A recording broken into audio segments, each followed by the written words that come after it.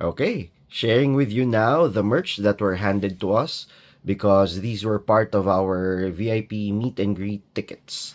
So we have this lenticular poster of the Super Show Summer Tour featuring the superstars that were on the shows except for Drew McIntyre because it was Gunther or Gunther who was present. Okay, so it's a lenticular poster. You can see it moving depending on the angle. And we have this miniature belt, Superstar WWE Superstar Experience.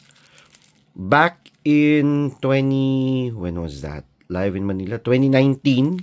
Okay, for VIP or the front row seats for the for the ticket holders. It also had the miniature replica belt, but it had a very very fancy case. So once I'm back in Manila, I will show you to compare or contrast it with this one. So WWE Superstar Experience. There. Okay, there you go. There's the WWE shop tag and this hologram sticker for authenticity. So it's a miniature version of Cody Rhodes' undisputed championship.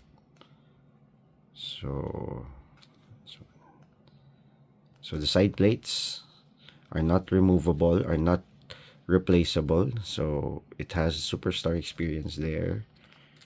So it's quite thick also and a bit heavy because it's a replica belt, not a commemorative one or the one made of plastic. Nice one. And the gems also shine. Okay, they also reflect light. Okay, not bad.